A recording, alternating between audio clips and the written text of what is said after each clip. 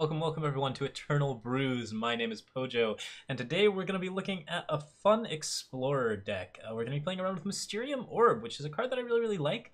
Uh, it is a ramp card that only focuses on Explorer Tribal. It offers extremely powerful ramp for a very significant drawback, which is that if you don't have any Explorers, it doesn't do anything. However, it does give your Sentinels Endurance and Overwhelm, so if you have some decent Sentinels in the deck, you can certainly get a lot done. Uh, what we are doing is we are using this card to play out basically a really, really high end, uh, very, very high power list of Praxis stuff, including Heart of the Vault, the standard Great Kiln Titan, and uh, Kaleb Uncrowned Prince, all of which are cards that can just really rock the boat and do amazing things uh, by themselves or together. So yeah, what we are basically doing here is we are trying to push those cards out with a large variety of other cards that really like focus on those threats. And by just throwing a lot of uh, really aggressive explorers out early, we can push on our opponent. We can make them kind of have to react to us in a pretty bad way, and we can slowly get them down to a decent amount of health, and then we can use the big guys to sort of finish off the, the game and basically just get everything uh, done uh, on that side.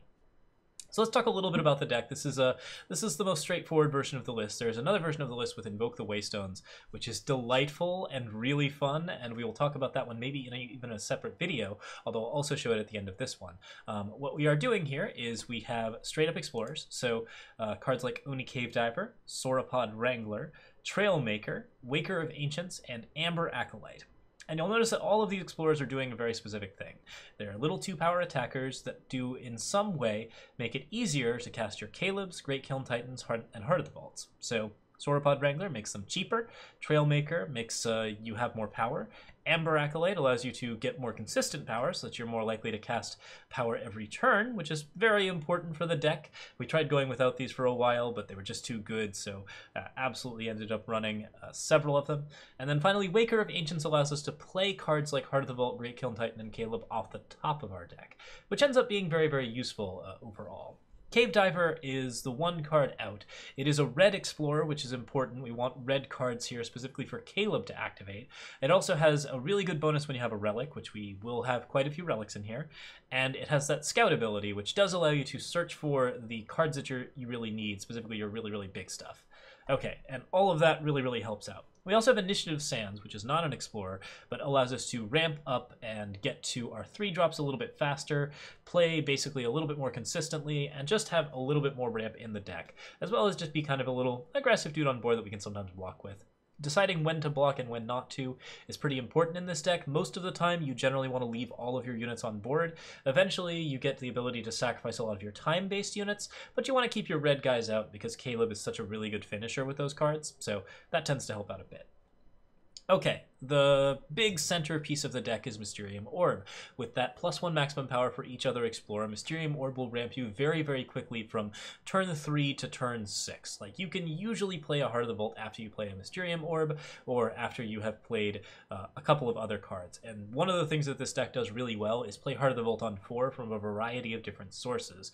You can go something like Initiative Sands into Sauropod Wrangler, and like basically just set up like a, a bunch of stuff that way you can do like all sorts of interesting things, sort of ramp yourself up and make Heart of the Vault go down to five, and then on four you play your power and uh, you play like a little bit of extra something, or you play your power and you just play Heart of the Vault. And it's really, really delightful times if you can get all of the fixing necessary through Trailmaker, who's a card that's very, very good at getting Heart of the Vault out of the door. Okay, so Mysterium Orb gets you the huge ramp, and that means that we basically just jump straight from 4 to 6. We don't do a lot in the middle. Uh, most of our 4 drops are pretty, pretty light. We keep one Diogo Malaga, who is an Explorer, and also gives double damage and charge to everything in our deck, which is really useful for both making our Explorers more relevant late game, but also for making our big stuff absolutely insane. So he's a pretty fun card. Uh, he's mostly a fun of in the deck, but he does serve a purpose. If you want to replace this card, you can replace them with Groundbreakers, and uh, I think the Groundbreakers are a perfectly good substitution for most of the cards in the deck if you're trying to go for a more aggressive strategy.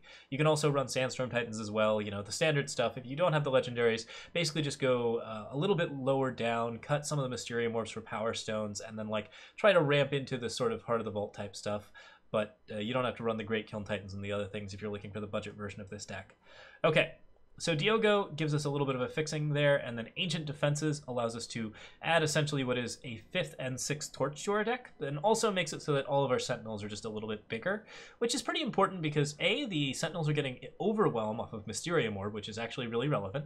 Uh, it is very important that these guys both have Endurance and dodge all of that blue, but also that they have that huge amount of extra damage from Ancient Defenses and Overwhelm and can really push through off of a Kaleb and get that like final bit of reach that you really really need in the deck. So Mysterium Orb's doing that, and Ancient Defenses is helping out with that strategy by making it so you can play a Sentinel and get plus two strength. You can also use the other relic, the three cost relic that uh, returns a card and gives your explorers bonuses when you play a Sentinel. Both of them are pretty good. We don't have a lot of Sentinels in this version of the deck, so it's totally fine to use either one. Okay, beyond that, our basic plan here is Great Kiln Titan. Great Kiln Titan plays relics and deals damage equal to their cost to an enemy. At the end of your turn, you get to play the top card of your deck. Both of these things are really good. The thing that I see very often is Great Kiln Titan into Kaleb or Heart of the Vault, and that's really fun. We have a lot of scry abilities, so we can focus what the top card of our deck is quite a bit, and that's really good. And then also, if Great Kiln Titan plays like an Ancient Defenses or a Mysterium Orb, he gets to burn something off of the board and actually help out on board as well. Uh, he's always just a huge impact on board, always a forced Harsh Rule or die. He's got so much offense that he's just really, really good, so it's well worth it to play him, and he's just a very, very solid hit off of Mysterium Orb. Kaleb, on the other hand, is the game ender. He's the guy who actually gets things done. Uh, he plays charge, he plays weapons on all of your units, Cave Diver, Waker of Ancients. He plays them on the Grenadin off of Granite Waystone. He plays them on Great Kiln and Heart of the Vault and Diogo Malaga, and all of that really means that he just gets to basically just add a huge buff to your board and overwhelm even some of the trickiest of defensive lines. I think he's really, really solid in this deck. Uh, he tends to give it a lot of extra push, and that is really, really relevant for basically just making sure that you have a finisher for the game. All right, so that's pretty much it. The power base is seats, praxis, uh, banners, crests of impulse, full waystones, and fire and time sigils. We're not using a lot of seeking. We're using amber acolyte to fix most of what we need to fix. And beyond that, we're basically just making sure that we set everything up with these cards so that we always have enough influence for Heart of the Vault and can play that card as early as humanly possible, usually turn four or five. Um, beyond that, we just basically try to value out our opponents. If they fight our explorers, then they have less removal later for our big stuff like Great Kiln Titan. So we kind of want that to happen, but ideally, if we can just be completely unimpeded and rampage through, that's always the best route. So that's the basic strategy. All right, so with that, we're going to get this uh, whole show on the road. Let's play a couple of games, and I'll show you how it works. Here we are in round one against Mr. Mucky Muck. I have a Trailmaker, a Sauropod Wrangler, an Amber Waystone, and a Fire Sigil. I don't love two power hands in this deck too much. It does have two Explorers, which kind of tempts me. Uh, I'm not seeing any seats or banners, though, which means the influence is going to be a little rough. So even if I get to Heart of the Vault early, I'm not going to get an amazing curve. The plan here is not as strong as it could be, so we'll redraw. All right. If I had some crests for scouting, something that would actually like sort of smooth out the draws and make sure that I get the exact cards that I need in order, that would be a much more likely hand. But as it stands, yeah, we're just going to be sitting tight and doing what we can. Okay, here I'm going to Crest of Impulse first to try and find some more power. I really like this opening hand. Mysterium Orb is a pretty playable card. Uh, we don't get to do a lot with it immediately, but it does mean a lot of ramp for the big stuff, so I think we'll go ahead and pick that up. Now, Amber Waystone plays Trailmaker on time, which I then get to use to play Mysterium Orb, even if the Seat of Impulse is depleted. So that seems like a pretty good start to the game, and it also means I don't have to go too heavy on board against a potential Harsh Rule or anything super crazy there. Uh, as far as influence goes, we want three fire, three time. So we'll go ahead and put a little fire in there with Trailmaker and get started. You see the time sigil there. Amber Waystone here is a really, really good pickup, and if I want to, I can now double up on Explorers. Another Trailmaker plus another Waker of Ancients would allow me to play any 6 drops I had on the top of my deck, but most of the cards that I want to warp actually have 8 costs, so we'll probably just Seat of Impulse here, throw the Mysterium Orb down, and attack for 2. Alright, so now I'm already at 5 power. If I see a Heart of the Vault on the top of my deck, I can play it this turn. That's turn 4, which uh, sure ain't bad. Uh, if we don't see Heart of the Vault, that's probably fine. This looks like Echo Mokto, so it's gonna have a decent amount of like hard removal slash harsh rules type stuff. That's something that we're gonna have to pay a lot of attention to, but for the most part, we're gonna get things done. All right, Cave Diver gets to scout. Way. Ancient Defenses seems perfectly playable here. I don't mind it, but I also kind of want to, like, because I've got so much ramp here and my opponent's not on Harsh Rule yet, I think I'm going to throw that away. And we're going to play Trailmaker again, so that we can ramp to 8. Oh, I was going to play Waker of Ancients. That was my mistake. Okay. So, yeah, we made a slight error here. Um, as it stands, I actually wanted to play Waker of Ancients so that I could get the uh, 8 drop off the top of my deck as opposed to Trailmaker. So we see a Slay there, or Cave Diver dies, I guess. That's fine. Praxis Banner's fine. We're going to play Waker of Ancients here. We shape the future. I don't see the power I need, so it's just attack for 4 here. Our opponent's a little bit stuck, which is good because the Explorers can certainly beat down any time that our opponent is not in good shape. So end our turn here. I can get Kaleb off the top of my deck now, and I think we're going to be pretty happy with that result.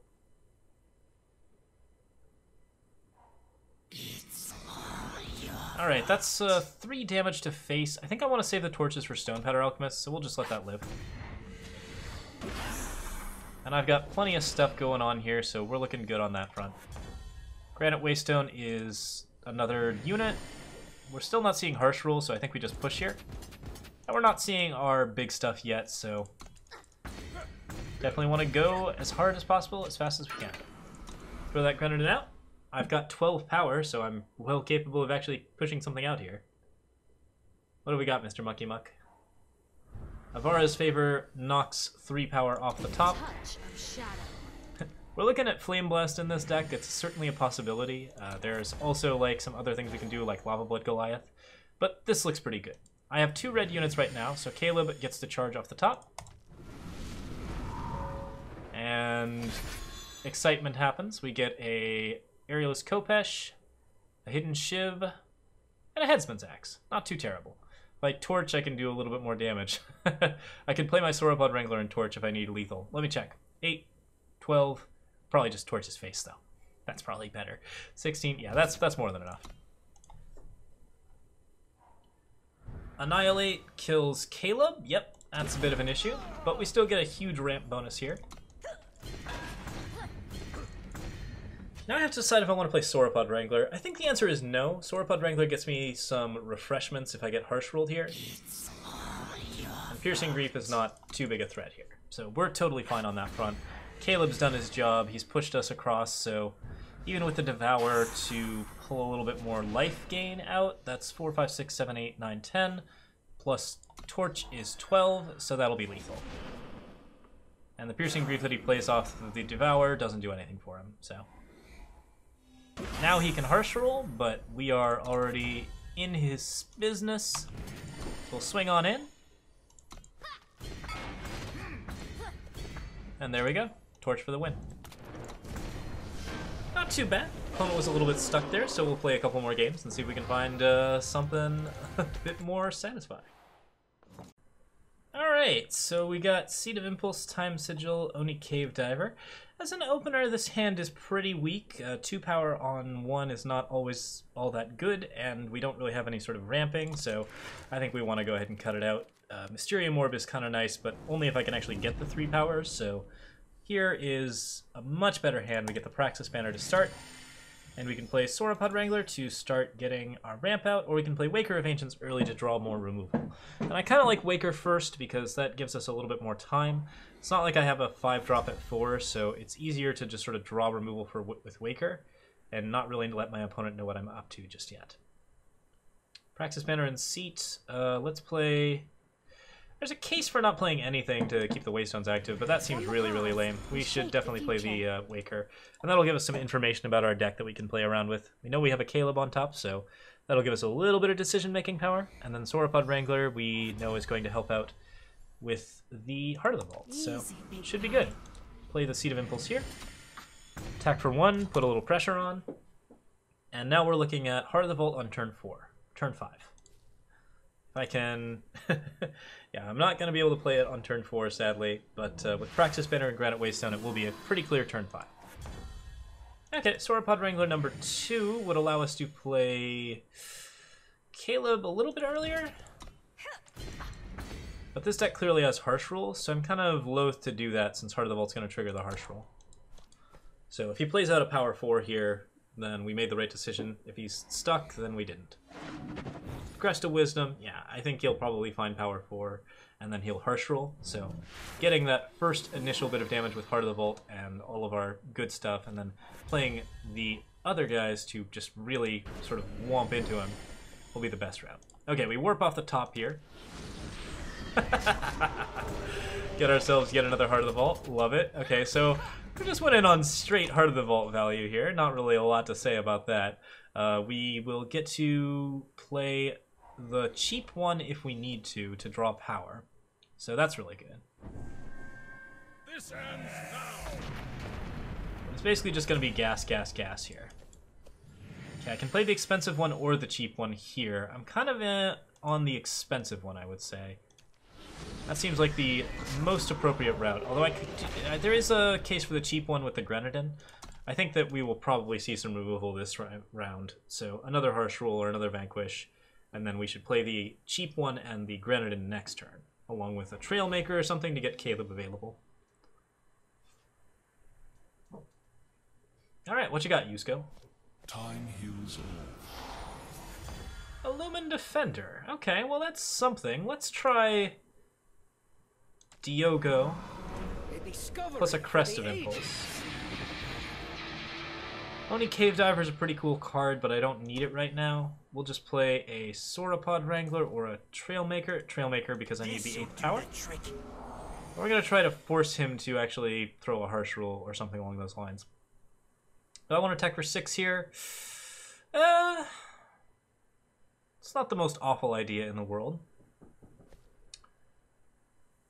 I basically just lose to the Lumen Defender, which I don't love. But yeah, sure, let's do it. Certainly it would be nice if we could find an Orb of Mysterium first so that we could get the Overwhelm through, but I think I just want to sort of knock this out in case of like a Chalice draw or something crazy along those lines. We're not going to be able to deal with that in any timely curve. That's quite enough. Okay, cool. So now it's Crest of Impulse. Talir's intervention looks great and will allow us to bounce Heart of the Vault back. Uh, although I'm probably going to play Heart of the Vault this turn.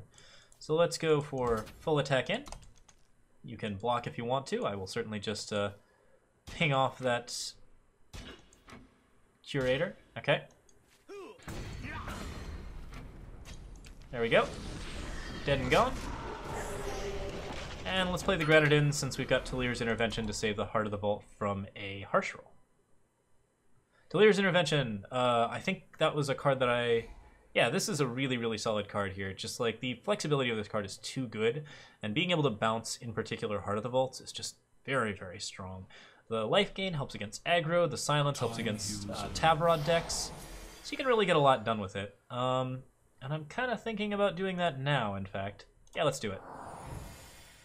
I've got three red cards, so we're going to silence that, and we're going to Kaleb in. Let's go. Rebels are aiming high. Looks like a pretty good hit. We got a 3-3 weapon here, Vodakhan Staff. I'll get that back. Hammer of Might offers three War Cries.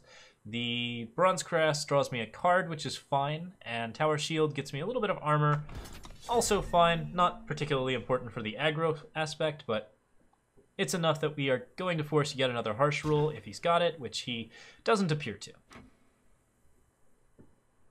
I assume he blocks the 9-9 here, unless he's looking to die a horrible death. Alright, we'll see if he's got the harsh rule here. If he does, Kaleb kills him, so... Should be fine either way. Yusko sitting here thinking. He's running a Chalice control deck. The idea here is to play uh, Crystal and Chalice and just basically buff up his low health units or his low attack units to draw cards. And you can get a pretty much infinite draw engine going, but it's very slow to get going which is why we're really glad that our Praxis deck has pressure. Uh, adding some pressure to the mid range really means that you have a much better chance of winning these control matchups because you can just continue to catch them and force them to actually play reactionary. And if they aren't reacting efficiently, then you really get it uh, just all wrapped up quite nicely.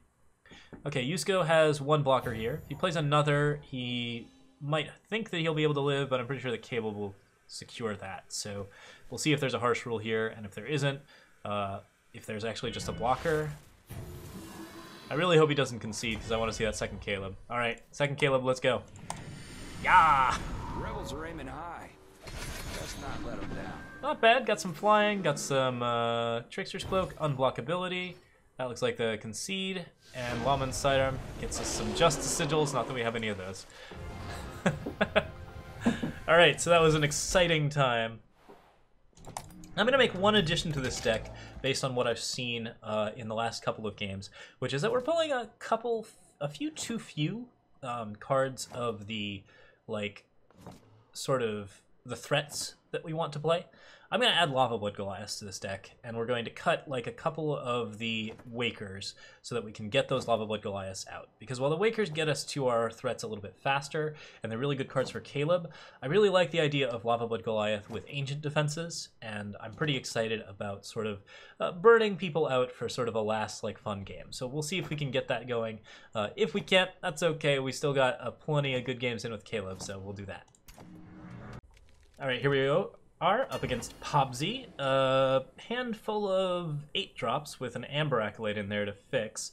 Crest kind of makes me want to keep this. Like the influence is actually pretty good, and Amber Acolyte fixes enough that we can actually play Heart of the Vault. And playing Heart of the Vault is generally just sort of the way to sort of sweep into the rest of your deck. You can warp Heart of the Vault off top. You're feeling pretty happy about life, or if you can draw it off of the crest, you know that's all good. Uh, this is a first hand, so I'm not super keen on it, but I think I think we have a good chance to draw some two drops. So we have a better chance of drawing two drops than drawing bombs, but keeping a hand with three bombs does feel pretty tricky. Sauropod Wrangler is that Sauropod, so we'll go ahead and play that and see what we can get. Ha! Sorry, my deck is fairly sabotage proof. We do have four torches that can get hit, and we have the uh, the Sentinel booster, which I've forgotten the name of despite I think accurately naming it previously. Mysterium Orb is the other card that actually can get hit, and that does hurt if we get hit, but I think here it's probably just play Amber Acolyte. My opponent's not going to sabotage me this early, so play that, and end my turn. I could be wrong. Maybe my opponent's going to throw another sabotage because he doesn't have anything else to do, but... Alright, there we go. Mysterium Orb. Heart of the Vault costs 5, so we can play that very quickly. Talir's Intervention defends our Sauropod, and we've got a ton of ramp. So, yeah, we're looking really good here. Heart of the Vault will actually be something that I can bounce back with Talir's Intervention. Okay. Now, the question is, do I want to return this, or do I want to just let it die? Um, I kind of want to return it. It doesn't allow us to play Heart of the Vault back twice. Probably it can just die. We're, we're fine with that. Like, it doesn't really mean anything to play it again, because we get Heart of the Vault off the draw. I guess I need to draw a power, so this might have been wrong. I could Talir's Intervention to play another power, and that would get me to a clean 6 easy. Talir's Intervention for a power, is that worth it? To play Heart of the Vault next turn? I think it's worth it. And this is just, you know, flexibility of Talir's Intervention. You can use it to do a lot of things that you wouldn't otherwise be able to do. We could have used it to save the 2-drop, but I think I actually prefer to have more power here. Either way, we wouldn't have been able to play Heart of the Vault this turn. And now we're a little less reliant on our explorers to get things going. Shadow Sigil there. Strategize, okay. So we are gonna get our Heart of the Vault this turn. That's really good to know. We're up against Feln Control, so we have to worry about, like, sort of just big stuff. Anything on that kind of scary end. Cheap Diogo seems really solid if I can get enough Explorers down. I would really like to be able to just Diogo and immediately activate against Feln, but I'm probably not to get that lucky. Can't be permafrosted on the Heart of the Vault, so it has to be killed by Feeding Time or Death Strike. Looks like today it's Death Strike. And with a, another Heart of the Vault right there, I think I'm going to play that. Follow it up with a Praxis Banner and an Initiate. Time quickens. And now I can play 8 drops without any issues. So, looking very strong against Feln right now. Single target removal will get you there, but with the Explorers pecking in, and the fact that you have a single target to deal with every turn, this is going to get pretty rough pretty fast. We're still kind of on the side of leaving Diogo for a little bit. Uh, Lightning Storm would suck for us here because we wouldn't be able to play Kaleb or Great Kiln Titan next turn. Um, I think actually we might even still be able to. No. Okay, yeah, Black Sky Harbinger hurts. It's a pretty good card in this situation because we just don't get to do anything cool. Crest of Impulse seems right. And Trailmaker is a pretty dang good card that happens to be an Explorer, but I think I'm mostly onto big threats at this point. Let's attack for six, and then we'll play Diogo. And threaten to activate him. He might actually draw a removal spell. That would be great, because he's currently not doing a lot. Yep, extract on Diogo into possibly another extract? Yeah, okay. So we got a lot of removal out just for Diogo, even though I wasn't going to be able to activate him this turn. Oh, man, I guess I did get to activate him this turn. How about that? All right, well, attack for six here. Kaleb might have offered lethal, but I think Great Kiln Titan feels a little bit better here. And what are you going to play, Great Kiln? Power? Don't mind a power. Annihilate kills Great Kiln, so it looks like Kaleb would in fact have been uh, defeated. But I think we're just looking pretty solid here. The last card is an Annihilate, then this gets a little bit tricky, but it's not that tricky. Kaleb first. We got our Overwhelm Heart of the Vault. 7-6, unfortunately. Not the best stat level, but Rock Carapace on Kaleb. I love it. Let's go. Here's an exact 15. yeah, I think you're going to block there. That's, that's my thought. Alright, Kaleb getting heavy with it. Play the Amber Waystone. That'll help us stabilize a little bit against this Black Sky Harbinger. New buffs on Black Sky Harbinger. He's a tougher guy for Praxis to deal with because he heals so much more damage. Uh, Kaleb does not get to attack here, so we might not actually be able to win. Let's see here. We could silence the Black Sky. Nah, we'll, we'll just Kaleb here. Rebels are aiming high. Oh gosh, did I get endurance? I got endurance on the other Kaleb! oh, it's beautiful. All right. Uh, we added some lava bloods at the end of that round, but I think we'll just leave the list where it's at because we never needed them. Uh, that was some good rounds. Okay, so that was fun stuff. Uh, let's do the postmortem. All right, in the interest of showing my last changes, which were just some little tweaks that we made while recording, uh, I upped the Ancient defenses, took the Waker of Ancients and the Amber Acolytes down a little bit, and now the deck is, like, I still like these Amber Acolytes for fixing, but I don't like Waker of Ancients in that large of numbers. I do think it's important to have red cards for Kaleb, but most of the time Kaleb's doing things off of, like, other big stuff. So that allows us to up the Ancient defenses by, I think, one, and we added in two Lava Blood Goliaths at the very, very top. That gives us a couple more things to do with large, large threats, and we're very capable, as you have seen, of playing anything at pretty much any cost. We often had like 14 to 15 power there, so that's not a big problem. Uh, Lava Blood Goliath does work somewhat with Ancient Defenses. I'm not sure if it actually gets that plus two bonus uh, when it's played before the summon. I'm pretty sure that's how it works, but I, I didn't verify it uh, in the games that we tested. So, uh, but I think it should work out uh, fine either way. I would play Lava Blood Goliath as a blank 6-6 just because it is so good at just knocking out your opponent's threats and dealing direct damage to your opponent's face. So that's a pretty solid option there. Let's look at the other deck as well. This is the initial plan for the, this was the initial plan, and I really liked it. It was a really good slow value deck, but I wasn't really getting the kind of like results that I wanted in terms of pressure, so we switched to a Kaleb strategy.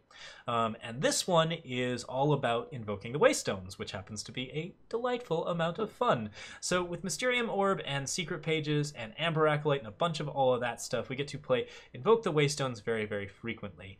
And that means that we get to basically just play an endless supply of our really, really big drops, of which we have, as usual, quite a lot. Claw of the First Dragon happens to trigger very well off Great Kiln Titan and solve the go wide problem, which is to say that Praxis tends to have issues with uh, decks that go wide.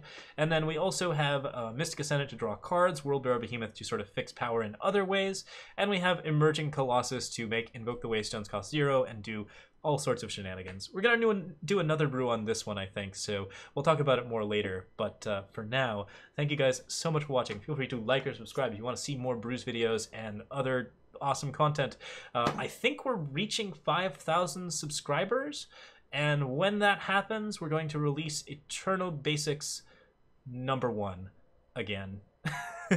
which was I think one of our first videos actually. Uh, but we have been we've been working on the redo of it for a while, and I, I have a deck now that works in um, Duskroad that I'm pretty happy with. So we're gonna start uh, start the basic series up again, and that should be either this week or next week. Uh, I, we will probably hit 5,000 about that time, and uh, I will. I have to do a little bit more work on the video and then get it out, but should be out pretty soon.